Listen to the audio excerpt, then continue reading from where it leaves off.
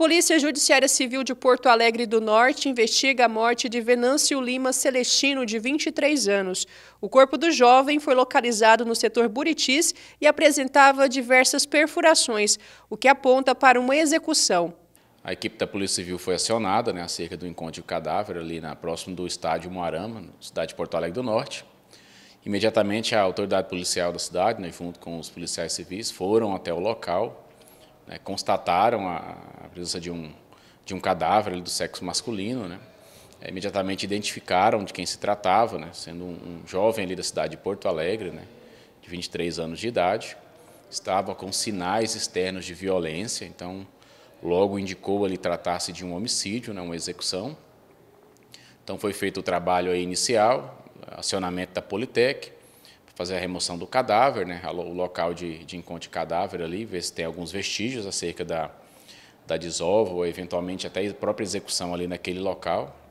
É, após isso, né, foi encaminhado o corpo para necrópsia, foi feito o trabalho aí de, do exame pericial através do médico legista para verificar se existe algum vestígio interno no corpo para auxiliar o trabalho da Polícia Civil. Agora foi instaurado inquérito policial, né, o delegado de polícia vai conduzir as investigações para verificar é, a autoria deste fato. É, de antemão, trabalha-se com uma linha de possível envolvimento com crime organizado, né, uma vez que o, o, a vítima possui alguns registros anteriores, investigações em andamento ali na, na, na Delegacia de Porto Alegre do Norte, e isso certamente será utilizado pela, pela equipe policial para chegar na, na, na, autoria deste fato. Né. É, infelizmente, né, um, mais um triste caso de homicídio aqui na nossa região, envolvendo um jovem é, e possível ligação ao crime organizado. Mas, lógico, nada se, se é descartado na investigação, principalmente neste início. Né?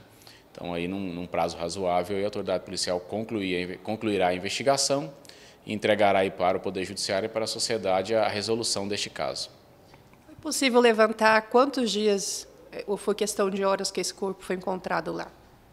Bem, aguarda-se aí a conclusão do, do laudo pericial o médico legista vai apresentar né, formalmente no laudo a informação nesse sentido, de, de, qual período, a partir da hora que foi encontrado o cadáver, há quanto tempo que, que houve o falecimento.